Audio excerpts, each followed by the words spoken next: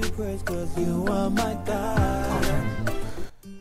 abavepi mumbabarire gato hari igihe mba ndiho ndipompa ndipompa imyuka. Okay so so abavepi uyu munsi turaza kuganira eh, nanjye uyu munsi turaza kuganira niba ushaka gutera imbere kandi ndabizi neza niba uri umubyeyi ukaba urankurikira uyu munsi ureba iyi video wari subscribe kuri iyi channel ni uko uri umuntu ushaka kwiteza imbere. Uyu munsi turaza kuganira ku bintu byose ugomba kureka gukora niba ushaka kwiteza imbere. Let's go.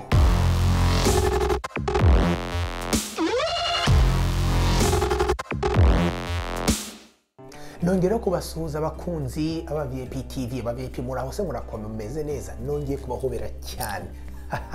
Uyu munsi rero turaza kuganira ku kiganiro gikomeye cyane. Turaza kuvuga ku bintu ugomba kudakora kugira ngo utere imbere. ibaze. Tumaze iminsi tuganira ku bintu byinshi wakora. Iyi channel murabizi ni about business entrepreneurship. Ukuntu wakonvestinga amafaranga yawe ukuntu wakwiteza imbere ibyo ugomba gukora ese wakonvestinga mu mazu ese wakonvestinga muri stock market ese wakora iki ese wakora budget. Hari ibintu byinshi tuvuga kuri iyi channel bijyanye no kwiteza imbere.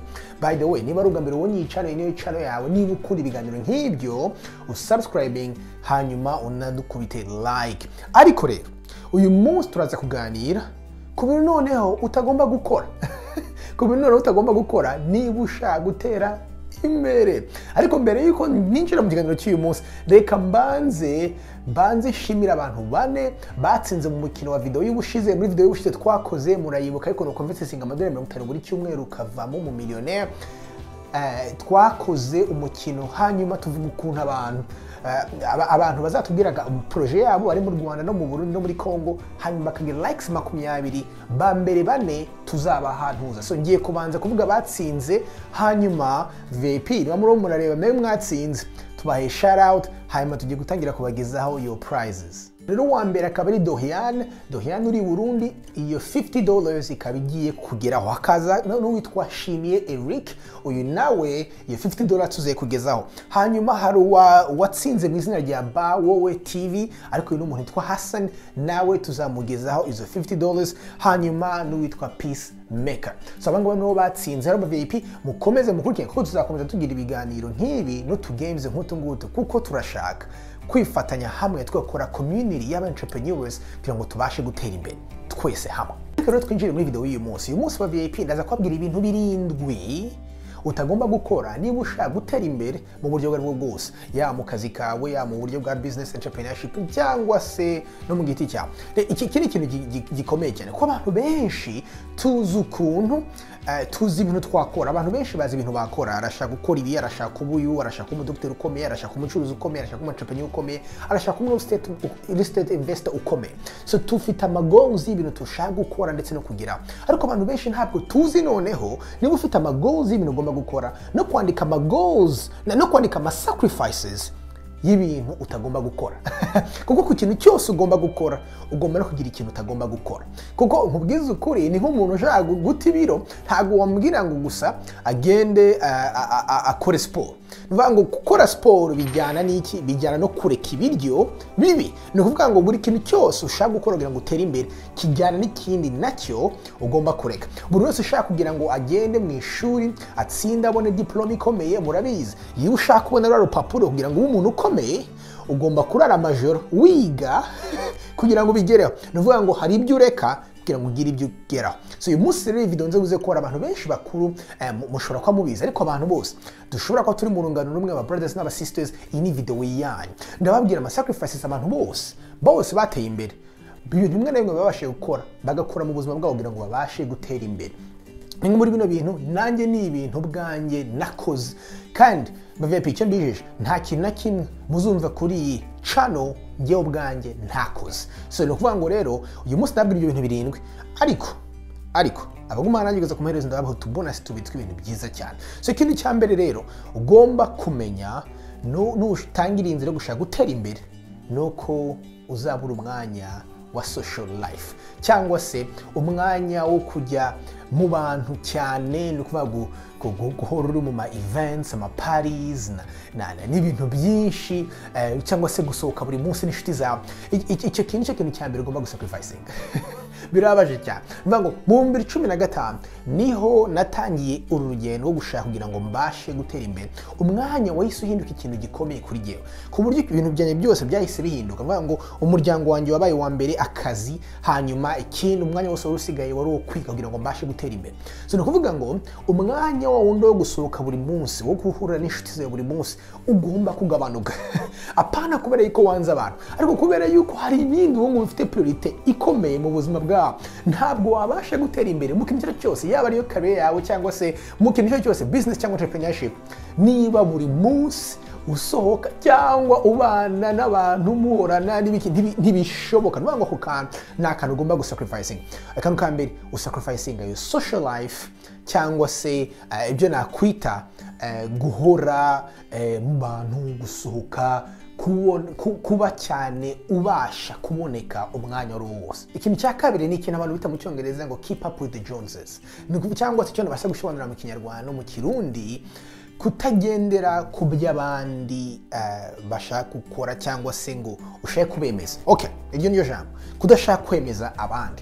Cyane cyane tuzi ko mu mu makommunity yacu mu- mu mu mico yacu ni ukuvuga ngo ugomba kwereka abantu ko hari icyo wagezeho. Ni ukuvuga ngo ugomba kugura ya ya modoka ya nzu ya ntuza kugira ngo abantu nyine babone yuko wage- wahageze. Aho hantu icyo ni ikintu dukunda gukora cyane. Ariko rindira mubwiza ukuri reka maze mubwiza ukuri ni ukuvuga ngo hari ikintu rimwe na rimwe eh, hari umugabo nkunda cyane witwa Robert Kiyosaki wavuze ngo ngo abakire bagura luxury last. Ni ngo iyo babonye amafaranga amafaranga yabo ya mbere babanza bakagura ibintu byitwa ama assets. Ni ngo ni ibintu binjiza andi mafaranga ariko ngo abakene bo barabanza bakagura ibintu bya luxuries ibintu izo, telefone ya nyuma iyo ntuza ya nziza ni ni byo bo baheraho kugira ngo babashe kwempuresinga abantu eh, bemereye ko nabo bahageze. Hanyuma rero aravuga ngo noneho ntugajye tryinga ku, ru- rich ahubwo be rich. Harimo abantu benshi bashaka kwigaragaza nk'aho bafite amafaranga. Kandi koko nta na yo. Nuza n'uwabivuze cyane mu migani salomon aravuga ngo hari umuntu ngo ngo ngo usa nkaho afite byose. Ngo kandi nyamara ntacyo afite. Ariko hari uwundi usa nkaho ntacyo afite ariko afite byose. Ni ukuvuga ngo aka ni akantu gakomeye cyane. Reba bwiza mukuru mu buzima bwanjye ngewe ni cyo kintu cya mbere nakoze nize. Nabaye inspired n'igitabo cyitwa the millionaire next door. Iki ni igitabo cyanditswe n'umugabo witwa eh, thomas stanley. Ni igitabo nifuriza abantu bose bashaka gutera imbere gusoma. Asobanura ukuntu abamiliyoneri ba mbere hano muri amerika no muri canada ari abantu muturanye kandi ushobora kuba utabizi. Kubera iki? Ni ba bantu bashopingira mu mashopu asanzwe ni ba bantu bambara imipira iri used muri za goodwill n'ibindi bintu bisanzwe. Icyo ni cyo kintu abantu benshi ba- batumva. Ngana n'abantu tu- tu- n'abantu tungana. Ba- ba- mbabwira ukuntu ibintu byinshi tuba dufite mu rugo eh, mbigura ahantu muri goodwill ni ahantu tugura ibintu bya second hand. Abantu bati ntabwo najya goodwill. Niyo najyayo mvayo uwambona goodwill ya- yambona ate? Icyo ni cya kintu nyine wumva ko abantu ba- bagendera ku kuntu abandi bababona Ura- ura- urashaka gutanga impression kugira ngo wereke abantu yuko eh, ufite standard yindi. Icyo kintu ni ikintu kibabaje cyane. Ibibazo urashaka kwemeza abantu utanakunda. Cyangwa utanemera. So icyo ni cyo kintu rero eh, mbasabye mugomba kwirinda. Cyane cyane mwebwe mukiri bato mushaka gutera imbere. Cyangwa se ukabona mu- mu- mugenzi runaka yaguze iphone isoho igezweho nawe ugomba kwigura. Icyo kintu ni ikintu abantu bashaka gutera imbere batagenderamo akandi kantu rero ka gatatu ugomba gusacrificing nushaka gutera imbere. Ni akantu ka entertainment cyangwa se utuntu tu- tu- tukunezeza cyangwa se na social media. Urabona hari igihe umuntu afata umwanya munini ugasanga eh, njye nk'umbahaye urugero. Nari umuntu ukunda ibintu bya siporo kandi bwiza n'ubu ngubu ndi umuntu wa mbere ushobora kuba ukunda ibintu bya mamuvi yitwa amaseri yayandi arangira akazi ndi akazi ndi akazi ndi. Ndi umuntu ushobora kwicara nkareba amaseri yose se season yose nkayirangiza mu munsi umwe. Nkamara amasaha umunani icyenda ndiho ndabikora. Cyangwa se nkumva amakuru um, ama- amatimu yose yasohoka nari nyazi nzi abakinnyi babo nzi abakoci babo nzi- n'umukinnyi tugiye kugura. Umva icyo kintu. Icyo kintu uragenda ugafata umwanya wawe wose amasaha atanu atandatu arindwi y'umunsi wawe kandi ugasanga nta value nta kintu rero birakwinjiriza. Nta bwenge biba birakungura nta kintu na kimwe. Ni ukuvuga ngo iki ni ikintu rimwe na rimwe iyo ushaka gutera imbere uziguma kuri utu tuntu tumwe na tumwe tukunezeza nka social media ama movies ama, ama, amantuza cyangwa se siporo nkanjye so nivuga ngo icyo kintu so, simvuze ngo ubireke byose. Nk'ubu ngiye nkunda siporo cyane ariko nakundaga amasiporo menshi ubu naragabanije byose nsigaranye basket. Hanyuma nkavuga nti reka nba nyi- nyi- nyihe byibuze iminota mirongo itatu isaha buri munsi? Apana amasaha atatu ane nk'ayo nari nsanzwe nkora. So nivuga ngo icyo kintu ni ikintu mugomba kumanaginga managinga entertainment yawe ya social media ama movie du- twa tuntu tugusetsa kuri youtube cyangwa se kuri facebook ugomba kurimita uyu mwanya kugira ngo uyu mwanya uwujyane mu kwiga mu kubasha kwiteza imbere ndetse no mu gukora. Iki ni ikintu cyane. Abantu bateye imbere tuzasanga bariho barakora. Ikindi na cyo ugomba gusakarifayisinga niba ushaka gutera imbere mu vip ni dodo cyangwa se gusinzira. Si ukuvuga ngo rimwe na rimwe ugomba kumenya niba ushaka gutera imbere ugomba kubyuka mbere y'uko abandi babyuka. eh, ugakora kugira ngo batange mu kazi. Cyangwa se abandi mu gihe baryamye wowe ukaba ukiri maso. Si ukuvuga ngo ibi ngibi bigomba kuba. Ni ukuvuga ngo mu myaka yanjye irindwi umunani ishize narabaze nsanga ndyama amasaha atanu kuri atandatu buri munsi. Ni ukuvuga ngo icyo kintu ugomba kugikora. Iyo usomye ibitabo by'abantu bateye imbere biography z'abantu bateye imbere eh, bose bose bavuga ukuntu eh, iyo bashaka gutera imbere batangira basakarifayisinze ku gitanda. Si ukuvuga ngo rero niba uri umukunzi w'igitanda hari ukuntu ugomba kugabanya amasaha ukongera amasaha yo gukora. Akandi kantu rero ugomba gusakarifayisinga ni ako nakwita mu cyongereza immediate gratifications cyangwa se immediate desires. Cyangwa icyo nasobanura mu kinyarwanda mu kirundi ni ukuvuga ngo gushaka guhita uryoherwa uwo mwanya. Iki ni ikintu ugomba kumenya. Abantu bose bateye imbere cyane cyane nkunda iki gitabo naba nababwiye cyane millionaire next door. Gisoma ukuntu iyo gisomye ubona ukuntu abantu bose babaye ba millionaires hano babasha kugira ikintu cyitwa delayed gratification. Kandi ndabizi nawe niba uzi umuntu uh, ushobora kuba uzi wateye imbere cyangwa se w'umucuruzi cyangwa umu cyangwa se umuntu wabaye umudogiteri mu kintu runaka umuganirije akubwira yuko hari ibintu yigomye uyu munsi kugira ngo azabibone azabone byinshi mu myaka iri imbere. Ni ukuvuga ngo eh, iki ni cyo bishatse kuvuga. Ni ngo niba ushaka icyo kintu runaka uwo mwanya ukumva umuriro uracyifuza ukumva uragishaka uyu munsi Ah, ni byiza navuga uti no uyu munsi wenda ntacyo mbashije reka mbanze ngendere kuri kuri level ndiho ahubwo mbike amafaranga nyakoreshe nyemvesitisingi nkore ibintu. Hanyuma kiriya kintu nshaka uyu munsi nzakibone ejo cyangwa ejo bundi. Ni ukuvuga ngo abantu rero benshi ndabizi mahanga mushaka guhita mubwira ariko rero ubuzima ari bugufi reka twenjoyinge iyo utekereje ko ubuzima ari bugufi ushaka kwenjoyinga uyu munsi uba ubaye selfish uba wikunze. Kubera yuko wowe niyo utabuharesha ufite umuryango wabisigira ufite umurage wasiga kuri iyi si waba ukoze ibintu byinshi birenze wowe uwo uri. So ndavuga ngo rero kana akandi kantu ugomba kugira. Ngo niba cya kintu ibaze cya kintu ushaka uwo mwanya wumva ushaka uwo mwanya wumva ushaka uvuze uti oya reka mbanze ndindire nzakibone iminsi iri imbere. So aka ni akantu abantu benshi bazi bateye imbere abantu benshi badakora hanyuma rero akandi nako ugomba gusakarifayisinga ni iyo familiya cyangwa se ibintu umenyereye cyangwa se ibyo abantu benshi bakunda kuvuga ngo ni comfort zone. Hari ahantu umuntu aba ariyumva anezerewe aryohewe ukumva nyine ufite inshuti ufite doka hari ahantu uba wumva wamenyereye umerewe neza.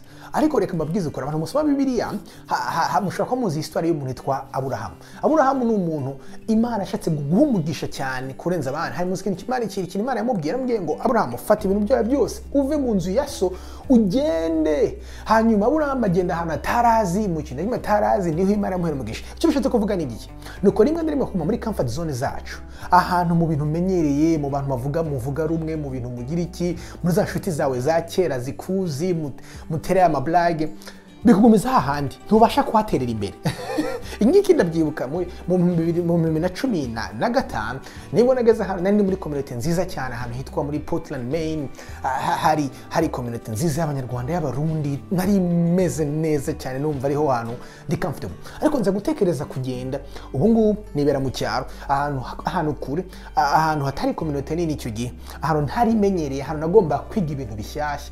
Hanyuma mpura n'inshuti nyinshi cyane eh, zamfashije za- zanteje imbere bituma niga imico y'abegihugu ba hano hanyuma bituma naniga ibintu byinshi nize kuri real estate na business. Hano kubera yuko namuvinze mva muba mu byo nari menyereye njya ahandi hantu hamfosinga kwiga.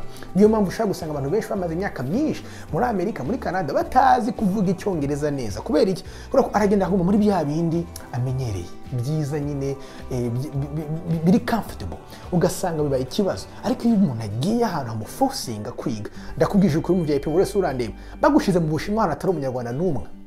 Mu mezi atatu wabuze igishinwa. Wabuze n'ukuntu abashinwa bakora n'ibyo bazakora byose. Ni ukuvuga ngo rimwe na rimwe gusakurifayisinga kamfati yawe zone ukajya ahantu hashyashya haguforosa kwiga ukagera ku bintu utari uzi ko ushobora no kugeraho. Ako ni akandi gasakurifayisi ugomba gukora. Karakomeye ariko ntugakora hanyuma rero akandi gasakurifayisi ugomba gukora eh, ni akantu ko gusakurifayisinga pride cyangwa se nakwita mu kintu kinyarwanda ko. K'akantu ka- k'ubwibone eh, ko kumva yuko hari ibintu wakora n'ibintu utakora ako kantu ugomba kugashyira hasi. Ni ukuvuga ngo ugomba kumva yuko nta kintu na kimwe utakora. Njye nibuka nza hano muri amerika nari umuntu nasanye naje hano mfite masters y'imibare. Ah, rimwe na rimwe nabonaga ubuza hano abantu bakora muri amerika nkavuga yahuza ntabwo nabukora bu nkumva ndaburengeye ariko mbakubwiza ukuri nta kintu na kimwe nakoze maze kwiga ibi bintu. Nakoze ibintu byose bibaho. Nigeze no kubebisitinga imbwa.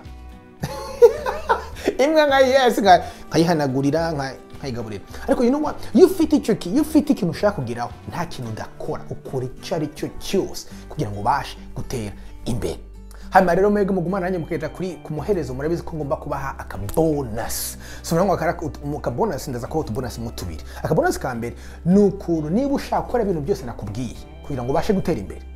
Ugomba kumenya yuko abantu benshi ntibazagukunda. Ni ukuvuga ngo dufite twese muri twe nk'abantu gushaka gukundwa n'abantu. Ariko rero iyo ukoze bino bintu ukabikora neza ushaka kwiterera imbere ugakora ibiguteza imbere. Apana utitaye ku byo abandi batekereza. Abantu ntibagukunda. Ibyo rero ugomba kuba wiyemeje ko bitazakubabaza. Hanyuma rero akandi kantu nako ugomba kumenya. Vp nta muntu n'umwe wateye imbere uta umwanya mu kwanga abandi bantu mu guhetinga ku bandi bantu kubagirira amashyari. Ni ukuvuga ngo my goodness ibyo bintu mugomba kubireka. Ni ukuvuga ngo bi- bigutwara umwanya mwinshi n'imbaraga nyinshi kwanga no guhetinga ku bantu ku buryo bituma utabasha kwitekereza ibyo ugomba gutera imbere. So ngo utu tuntu tubiri eh, kudashishikazwa no gukundwa n'abantu cyane um, hanyuma no ku nawe no kutita ku bandi ngo ugire amashyari cyangwa se uheringe ibi tu ni utuntu mugomba kuhengera kuri character zanyu. Hanyuma mukabasha kugera kure. Ngo vip ndabakunda cyane. Niyo mpamvu mushaka ko mutera imbere. Sinavuga ngo naho ubutaha. Ni ukuvuga ngo ntimwibagirwe eh, gu- gu- gusharinga iyi video kuyilakinga hanyuma naho ubutaha. Bye god bless.